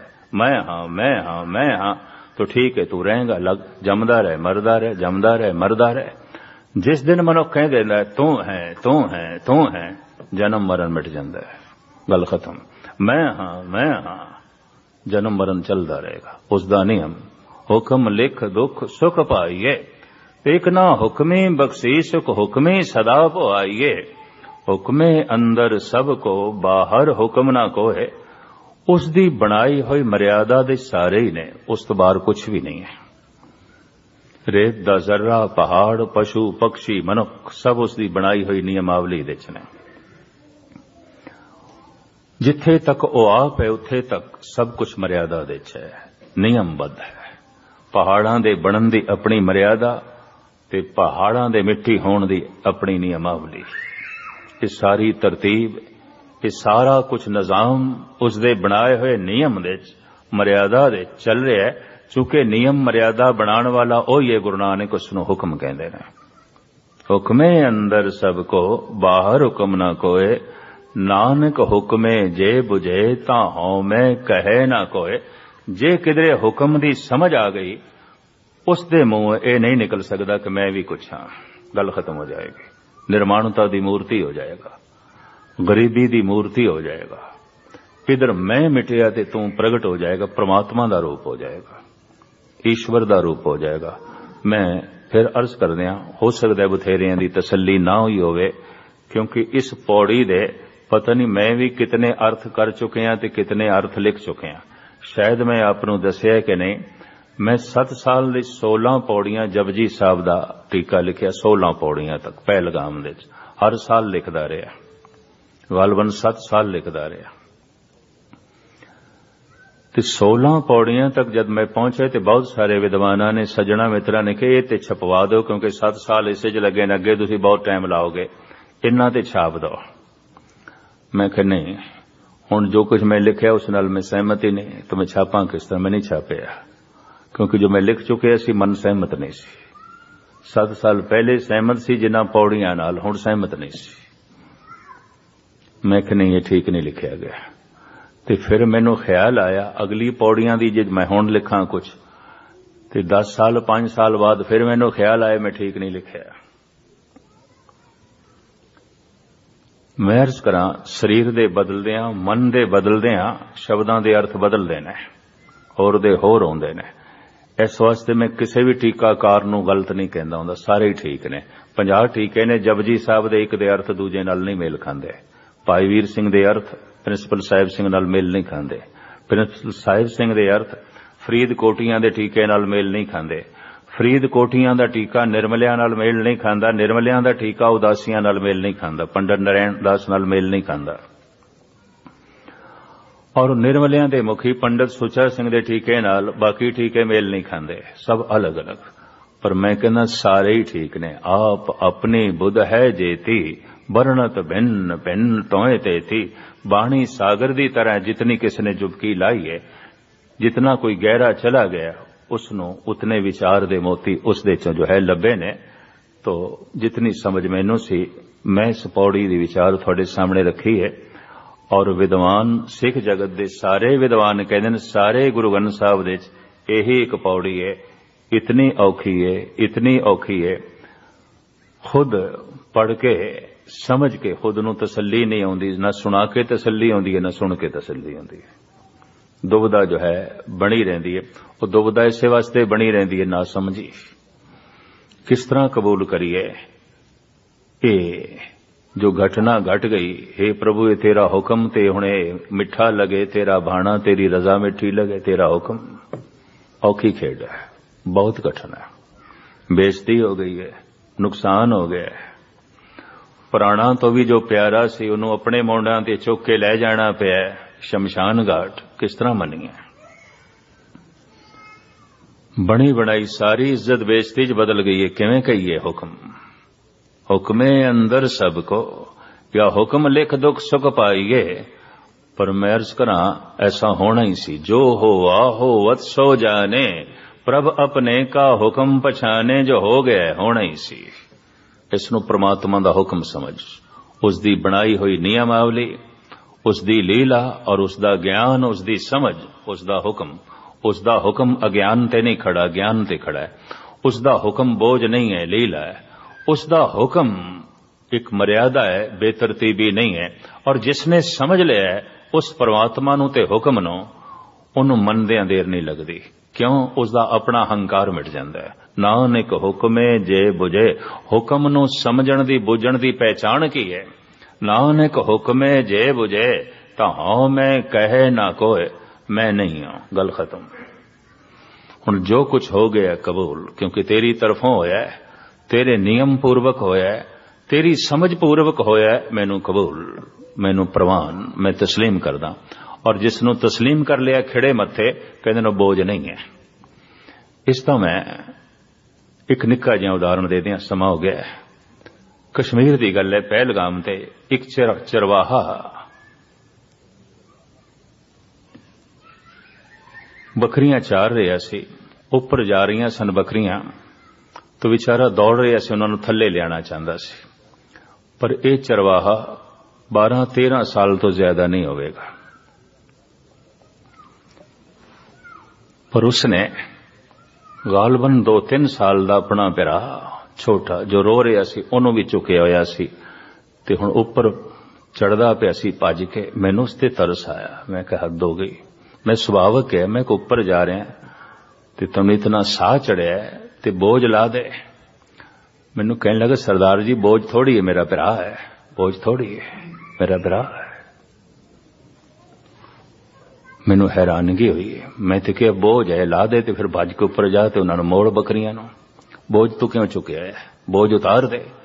ਕਹਿੰਦਾ, ਬੋਝ ਥੋੜੀ ਹੈ ਮੇਰਾ ਭਰਾ ਹੈ। ਅਗਰ ਭਰਾ ਹੈ ਤਾਂ ਕੋਈ ਬੋਝ ਨਹੀਂ। ਅਗਰ ਹੁਕਮ ਪ੍ਰਮਾਤਮਾ ਦਾ ਹੈ ਤਾਂ ਪ੍ਰਮਾਤਮਾ ਨਾਲ ਪਿਆਰ ਹੈ। ਤਾਂ हे ਪ੍ਰਭੂ, ਇਹ ਕੋਈ ਬੋਝ ਨਹੀਂ। ਇਹ ਕੋਈ ਬੋਝ ਨਹੀਂ। ਇਹ ਪ੍ਰਵਾਨ ਇਹ ਕਬੂਲ, ਇਹ ਤਸਲੀਮ। ਇਤਨੀਆਂ ਵਿਚਾਰਾਂ ਇਸ ਵਕਤ ਪ੍ਰਵਾਨ ਕਰਨੀ ਅਗਲੀ ਪੌੜੀ ਦੀ ਵਿਚਾਰ ਕੱਲ ਤੁਹਾਡੇ ਸਾਹਮਣੇ। ਪੁਲ ਚੁਗ ਦੀ ਸ਼ਵਾ ਵਾਹਿਗੁਰੂ ਜੀ ਕਾ ਖਾਲਸਾ ਵਾਹਿਗੁਰੂ ਜੀ ਕੀ ਫਤਿਹ ਹਾਂ ਸਾਲ ਲਿਖੇ ਹੋਏ ਨੇ ਪਰ ਮੈਂ ਅਰਜ਼ ਕਰਾਂ ਹਰ 2500 ਸਾਲ ਤੋਂ ਬਾਅਦ ਸੋਚਣੀ ਸ਼ੈਲੀ ਤਰਜ਼ੇ ਜ਼ਿੰਦਗੀ ਬਦਲ ਇਸ ਤੋਂ ਜ਼ਿਆਦਾ ਸਮਾਂ ਨਹੀਂ ਲੱਗਦਾ ਯਹੀਂ ਜੀ ਕਹ ਲੇ ਕਿ ਯੁੱਗ ਦੀ ਉਮਰ 2500 ਸਾਲ ਤੋਂ ਜ਼ਿਆਦਾ ਨਹੀਂ ਹੋ ਸਕਦੀ ਕਹਿੰਦੇ ਨੇ ਸਾਢੇ ਤਿੰਨ ਹਜ਼ਾਰ ਸਾਲ ਹੋਏ ਨੇ। ਸ੍ਰੀ ਕ੍ਰਿਸ਼ਨ ਤੇ ਪਾਂਡਵਾਂ ਦਾ ਪੜਪੋਤਾ ਜਨਮੇਜਾ ਜਿਸ ਦਾ ਜ਼ਿਕਰ ਗੁਰੂ ਗ੍ਰੰਥ ਸਾਹਿਬ ਵਿੱਚ ਬੜੇ ਵਿਸਤਾਰ ਨਾਲ ਹੈ। ਇਸ ਦੇ ਰਾਜ ਤੋਂ ਕਹਿੰਦਨ ਕਲਯੁਗ ਆਰੰਭ ਹੋ ਗਿਆ, ਯੁਗ ਬਦਲ ਗਿਆ। ਉਹਨਾਂ ਦੀ ਗਿਣਤੀ ਦੇ ਮੁਤਾਬਕ, ਉਹਨਾਂ ਦੀ ਲਿਖਤ ਦੇ ਮੁਤਾਬਕ ਜਨਮੇਜੇ ਦੇ ਨਾਲ ਦੁਆਪਰ ਬਦਲ ਗਿਆ। ਕਲਯੁਗ ਸ਼ੋਕ ਸ਼ੁਰੂ ਹੋਇਆ। ਜਨਮੇਜੇ ਦੇ ਲੜਕੇ ਦਾ ਨਾਂ ਸੀ ਅਜੈ ਸਿੰਘ। ਸਭ ਤੋਂ ਪਹਿਲੇ ਮਨੁੱਖ ਨੂੰ ਸਿੰਘ ਨਾਮ ਦੇਣਾ। ਇਹ ਜਨਮੇਜੇ ਨੇ ਦਿੱਤਾ ਸੀ ਆਪਣੇ ਬੱਚੇ ਨੂੰ। ਇਹ ਲੰਬਾ ਚੌੜਾ ਪ੍ਰਸੰਗ ਵੀ ਧੰਨ ਗੁਰੂ ਗੋਬਿੰਦ ਸਿੰਘ ਜੀ ਮਹਾਰਾਜ ਨੇ ਦਸਮ ਗ੍ਰੰਥ ਦੇ ਕਿਹਾ ਲਿਖਿਆ। ਔਰ ਇਹ ਜੋ ਜਨਮੇਜੇ ਦੀ ਰਾਣੀ ਸੀ ਕਿ ਬਨਾਰਸ ਦੇ ਰਾਜੇ ਨੇ ਦਹਜ ਦੇ ਵਿੱਚ ਗੋਲੀ ਦੇ ਰੂਪ ਵਿੱਚ ਦਿੱਤੀ ਸੀ। ਪੁਰਾਣੇ ਜ਼ਮਾਨੇ 'ਚ ਰਾਜੇ ਮਹਾਰਾਜੇ ਗੁਲਾਮ, ਨੌਕਰ, ਚਾਕਰ ਵੀ ਦਹਜ ਦੇ ਦਿੰਦੇ ਸੀ। ਗੋਲੀਆਂ, ਗੋਲੇ। ਗੁਲਾਮ, ਦਾਸੀਆਂ। ਦਹਜ ਦੇ ਵਿੱਚ ਮੁਗਲ ਸ਼ਹਿਨशाह ਵੀ ਦਿੰਦੇ ਸਨ ਆਪਣੇ ਬੱਚੀਆਂ ਦੇ ਨਾਲ। ਪੁਰਾਣੇ ਰਜਵਾੜੇ ਵੀ ਦਿੰਦੇ ਸਨ ਕਾਸ਼ੀ ਦੇ ਰਾਜੇ ਨੇ ਆਪਣੀ ਲੜਕੀ ਦੇ ਨਾਲ ਦਹਜ ਦੇ ਵਿੱਚ ਦਾਸੀ ਵੀ ਦਿੱਤੀ ਸੀ, ਨੌਕਰ ਵੀ ਦਿੱਤੇ ਸਨ, ਬਾਕੀ ਤੇ ਸਾਜ਼ੋ ਸਮਾਨ ਦਿੱਤਾ। ਇਸ ਦਾਸੀ ਨਾਲ ਸਮਾਂ ਪਾ ਕੇ ਜਨਮੇ ਜਨਮੇਜੇ ਨੇ ਵਿਆਹ ਕੀਤਾ, ਰਾਣੀਆਂ ਦਾ ਤਿਆਗ ਕਰਕੇ। ਉਹ ਗੋਲੀ ਨੂੰ ਦਾਸੀ ਨੂੰ ਕਹਿੰਦੇ ਨੇ ਸੰਸਕ੍ਰਿਤ ਦੇ ਚ ਰਜੀ। ਰਜੀ। ਪੈਰਾਂ ਦੀ ਰੱਜ, ਪੈਰਾਂ ਦੀ ਖਾਕ ਨੌਕਰਾਣੀ, ਗੋਲੀ, ਦਾਸੀ। ਇਸ ਰਜੀ ਦਾ ਜੋ ਲੜਕਾ ਸੀ, ਪੁਰਾਣੇ ਜ਼ਮਾਨੇ 'ਚ ਵਲਦੀਅਤ ਮਾਂ ਨਾਲ ਜੋੜੀ ਜਾਂਦੀ ਸੀ। ਪੁਰਾਣੇ ਧਰਮ ਗ੍ਰੰਥ 'ਚ ਇਸੇ ਤਰ੍ਹਾਂ। ਅਜੇ ਸਿੰਘ ਨੂੰ ਇੰਜ ਆਖਿਆ ਗਿਆ, ਰਜੀ ਪੁੱਤਰ ਜੋ ਸਹਿਜੇ ਸਹਿਜੇ ਸ਼ਬਦ ਇੰਜ ਬਣਿਆ, ਰਾਜਪੂਤ। ਰਾਜਸਥਾਨ ਦੇ ਸਾਰੇ ਰਜਵਾੜੇ ਰਾਜਪੂਤ ਕੁਝ ਪੰਜਾਬ ਦੇ ਵਿੱਚ ਵੀ ਹਨ, ਰਾਜਪੂਤ ਰਜੀ ਪੁੱਤ ਉਸ ਦਾਸੀ ਦੀ ਸੰਤਾਨ। ਸਿੰਘ ਨਾਮ ਇਸ ਲੜਕੇ ਨੂੰ ਦਿੱਤਾ ਗਿਆ ਰਜੀ ਪੁੱਤਰ ਨੂੰ। ਅਜੈ ਸਿੰਘ ਰਾਖਿਓ ਰਜੀ ਪੁੱਤਰ ਨਾਮ, ਧਰਿਓ ਅਸਮਿਧਾਨੰ, ਪ੍ਰਥਮ ਪੁੱਤਰ ਨਾਮ। ਗਾਲਬਨ 13 ਸਫਿਆਂ ਦੇ ਉੱਤੇ ਧੰਨ ਗੁਰੂ ਗੋਬਿੰਦ ਸਿੰਘ ਜੀ ਮਹਾਰਾਜ ਨੇ ਸਾਰਾ ਪ੍ਰਸੰਗ ਲਿਖਿਆ। ਇਸ ਪ੍ਰਸੰਗ ਦੇ ਸੁਣਾਉਣ ਦਾ ਮੇਰਾ ਮਤਲਬ ਨਹੀਂ, ਯਾਨੀ ਜਨਮੇਜੇ ਦੇ ਨਾਲ ਕਲਯੁਗ ਆਰੰਭ ਹੋਇਆ। ਦੁਆਪੁਰ ਸਮਾਪਤ ਹੋਇਆ। ਉਸ ਦੁਆਪੁਰ ਦੀ ਜਦ ਮੈਂ ਉਮਰ ਗਿਣਦਾ 2500 ਸਾਲ ਤੋਂ ਜ਼ਿਆਦਾ ਨਹੀਂ। ਔਰ ਫਿਰ ਕ੍ਰਿਸ਼ਨ ਤੋਂ ਪਹਿਲੇ 2000 ਸਾਲ ਪਹਿਲੇ ਹੋਇਆ। ਸ਼੍ਰੀ ਰਾਮ ਉਸ ਯੁੱਗ ਦੀ ਉਮਰ ਵੀ 2500 ਸਾਲ ਤੋਂ ਜ਼ਿਆਦਾ ਨਹੀਂ। ਹੈਰਾਨੀ ਕੀ ਇਹਨਾਂ ਦੋ ਅਵਤਾਰਾਂ ਦੇ ਜਿਹੜਾ ਫਾਸਲਾ, ਉਸ ਹਿਸਾਬ ਨਾਲ ਯੁਗਾਂ ਦਾ ਫਾਸਲਾ ਫਿਰ ਅੱਗੋਂ ਗੁਰੂ ਨਾਨਕ ਦੇਵ ਜੀ ਮਹਾਰਾਜ। ਇਹਨਾਂ ਚਾਰਾਂ ਦਾ ਜ਼ਿਕਰ ਪੱਠ ਵੀ ਕਰਦੇ ਨੇ। ਸਤਜੁਗ ਤੈ ਮਾਣਿਓ, ਛਲਿਓ, ਬਲਬਾਉਨ ਭਾਇਓ। ਤ੍ਰੇਤੇ ਤੈ ਮਾਣਿਓ RAM ਰਗਵੰਸ਼ ਕਹਾਇਓ। द्वापुर कृष्ण मोरार कंस कृतारत कियो उगर सैन को राज अभय भक्त जन दियो कल युग प्रमाण नानक गुर अंगद अमर कहायो श्री गुरु राज अब चल अटल आद पुरख पुरमाया ਪੱਟਾਂ ਦਾ ਸਰੂਰ ਹੁਣ ਮੈਂ ਅਰਜ਼ ਕਰਾਂ ਇੰਜ ਕਹਿ ਲੋ 10000 ਸਾਲ ਦੇ ਵਿੱਚ ਚਾਰ ਯੁੱਗ ਬਦਲ ਜਾਂਦੇ ਹਨ ਫਿਰ ਨਵੇਂ ਸਿਰੇ ਤੋਂ ਸਿਲਸਿਲਾ ਸ਼ੁਰੂ ਹੁੰਦਾ ਇੱਕ ਸੋਚਣੀ ਤੋਂ ਮਨੁੱਖਤਾ ਉਕਤਾ ਜਾਂਦੀ ਹੈ। ਇੱਕ ਤਰ੍ਹਾਂ ਦੀ ਤਰਜ਼ੇ ਜ਼ਿੰਦਗੀ ਚਾਹੇ ਕੁਝ ਵੀ ਹੈ ਉਕਤਾ ਜਾਂਦੀ ਹੈ। ਜਾਂ ਪ੍ਰਕਿਰਤੀ ਤਬਦੀਲੀ ਲਿਆਂਦੀ ਹੈ, ਬਦਲਦੀ ਰਹਿੰਦੀ ਹੈ, ਬਦਲਦੀ ਰਹਿੰਦੀ ਹੈ। ਸੋਚਣੀ ਬਦਲਦੀ ਹੈ, ਵਿਚਾਰ ਬਦਲਦੇ ਨੇ, ਆਚਾਰ ਬਦਲਦਾ ਹੈ, ਕਿਉਂਕਿ ਆਚਾਰ ਵਿਚਾਰ ਤੇ ਖੜਾ ਹੈ। ਕਿਰਤ ਸੋਚਣੀ ਤੇ ਖੜੀ ਹੈ। ਇਹ ਗੱਲ ਵੱਖਰੀ ਹੈ ਕਿ ਬਿਨਾਂ ਸੋਚੇ ਸਮਝੇ ਕਿਧਰੇ ਕਿਰਤ ਹੋ ਜਾਏ, ਉਹ ਗੱਲ ਵੱਖਰੀ ਹੈ। ਅਕਸਰ 90 ਫੀਸਦੀ ਕ੍ਰਿਤ ਸੋਚਣੀ ਤੇ ਖੜੀ ਹੈ ਵਿਚਾਰਾਂ ਤੇ ਖੜੀ ਜੋ ਮਨੁੱਖ ਸੋਚਦਾ ਰਹਿੰਦਾ ਹੈ, ਉਹੀ ਕ੍ਰਿਤ ਬਣ ਜਾਂਦੀ ਹੈ ਜੋ ਮਨੁੱਖ ਵਿਚਾਰਦਾ ਰਹਿੰਦਾ ਹੈ, ਉਹੀ ਕ੍ਰਿਤ ਬਣਦੀ ਹੈ ਵਿਚਾਰ ਬਦਲ ਜਾਂਦੇ ਨੇ ਤਾਂ ਫਿਰ ਕ੍ਰਿਤ ਵੀ ਬਦਲ ਜਾਂਦੀ ਸੋਚਣੀ ਬਦਲ ਜਾਂਦੀ ਹੈ ਕ੍ਰਿਤ ਵੀ ਬਦਲ ਜਾਂਦੀ ਹੈ ਖਿਆਲ ਬਦਲ ਜਾਂਦੇ ਨੇ, ਬਾਹਰ ਦਾ ਪਸਾਰਾ ਵੀ ਬਦਲ ਜਾਂਦਾ ਹੈ ਬਹੁ ਗਿਣਤੀ ਦੇ ਵਿੱਚ ਇੰਜ ਕਹਿ ਲੋ 70 ਫੀਸਦੀ ਜਦ ਮਨੁੱਖਾਂ ਦੇ ਵਿਚਾਰ ਸਾਰੇ ਦੇ ਸਾਰੇ ਬਦਲ ਜਾਣ ਤੇ ਪੁਰਾਣਾ ਢਾਂਚਾ ਸਾਰੇ ਦਾ ਸਾਰਾ ਨਵੀਨਤਾ ਦੀ ਸ਼ਕਲ ਅਖਤਿਆਰ ਕਰ ਜਾਏ ਨੂੰ ਕਹਿੰਦੇ ਨੇ ਯੁੱਗ ਬਦਲ ਗਿਆ ਸਮਾਂ ਹੋ ਰਿਹਾ ਹੈ ਯੁੱਗ ਦੇ ਵਿੱਚ ਤਬਦੀਲੀ ਆ ਗਈ। ਇਸ ਨੂੰ ਚਾਰ ਹਿੱਸਿਆਂ 'ਚ ਕਿਉਂ ਵੰਡਿਆ ਗਿਆ ਹੈ? ਹੁਣ ਮੈਂ ਜੋ ਕਹਿਣ ਲੱਗਾ, ਇਸ ਸ਼ਲੋਕ ਤੋਂ ਮੈਂ ਜੋ ਥੋੜੀ ਜਿਹੀ ਪ੍ਰੇਰਣਾ ਲਈ ਹੈ। नानक मेर शरीर का एक रथ एक रथ व सदयुग रथ संतोख का तरम अगे रथ त्रेते रथ जथे का, ज़ोर अगे रथ द्वापुर रथ तपे का, सत अगे रथ कलयुग रथ अगन का, कूड़ अगे रथवा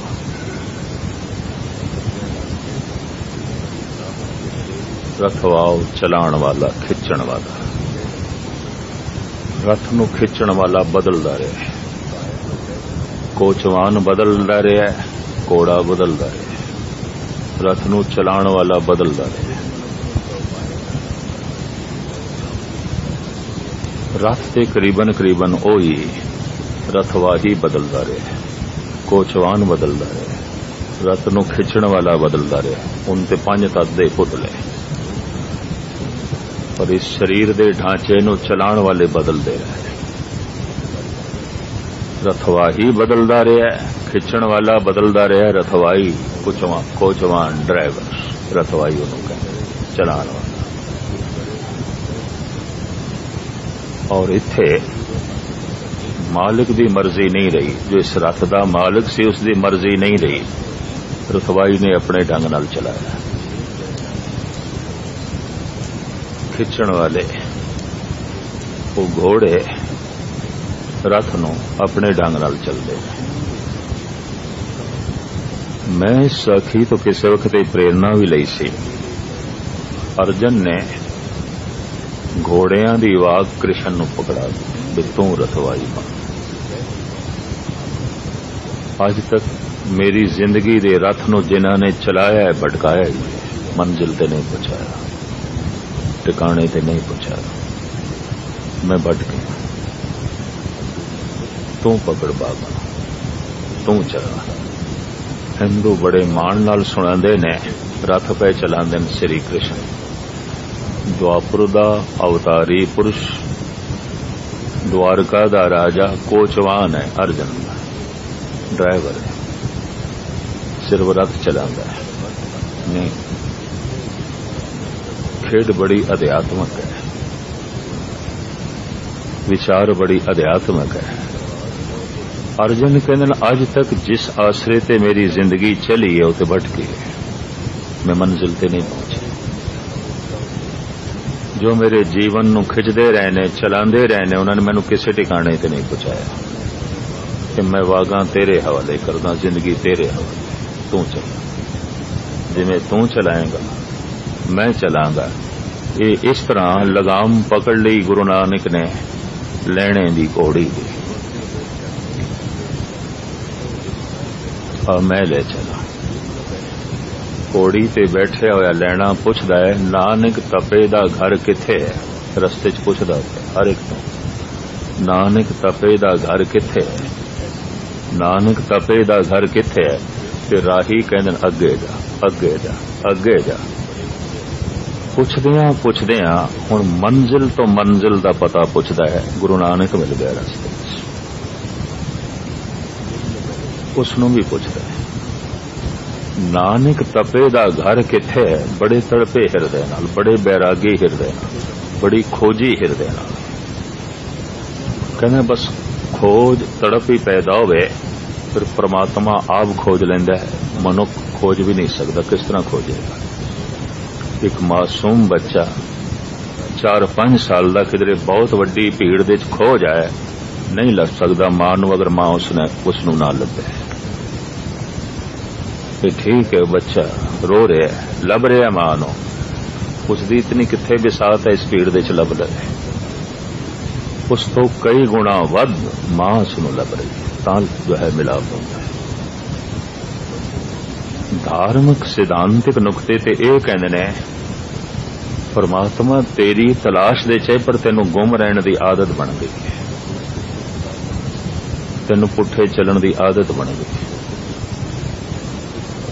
ਲਾੜ ਦਾ ਮਾਰਿਆ ਬੱਚਾ ਮਾਂ ਪਿੱਛੇ ਪਈ ਭਜਦੀ ਹੈ ਪਕੜਨ ਨੂੰ। ਇਧਰ ਉਧਰ ਕਿਧਰੇ ਨਾ ਧੱਕੇ ਖਾ ਲਵੇ ਪਟਕ ਨਾ ਆ ਜਾਵੇ, ਉਹ ਦੌੜੀ ਜਾਵੇ। ਇਸ ਤਰੀਕੇ ਨਾਲ ਸੂਫੀ ਕਹਿੰਦੇ ਨੇ, ਖੁਦਾ, ਤੂੰ ਸਾਨੂੰ ਲੱਭਦਿਆਂ ਲੱਭਦਿਆਂ ਨਹੀਂ ਥੱਕਿਆ, ਪਰ ਅਸੀਂ ਭਟਕਦਿਆਂ ਭਟਕਦਿਆਂ ਵੀ ਨਹੀਂ ਥੱਕੇ। ਸੂਫੀ ਤੇ ਇੰਜ ਕਹਿੰਦੇ ਪਰ ਤੇਰੀ ਦਇਆ ਵੀ ਬਾ ਕਮਾਲ ਹੈ, ਤੂੰ ਲੱਭਦਿਆਂ ਲੱਭਦਿਆਂ ਨਹੀਂ ਥੱਕਦਾ। ਤੇ ਸਾਡੀ ਮੂਰਖਤਾ ਵੀ ਬੜੀ ਕਮਾਲ ਦੀ, ਅਸੀਂ ਭਟਕਦਿਆਂ ਭਟਕਦਿਆਂ ਵੀ ਨਹੀਂ ਥੱਕਦੇ ਪਤਾ ਨਹੀਂ ਕਿਤਨੇ ਜਨਮਾਂ ਤੋਂ ਭਟਕ ਰਹੇ। ਬਹੁਤੇ ਫੇਰ ਭਏ ਕਿਰਪਨ ਕੋ। ਅਬ ਕਿਛ ਕਿਰਪਾ ਕੀਜੇ। ਕੋਈ ਇੱਕ ਜਨਮ ਭਟਕੇ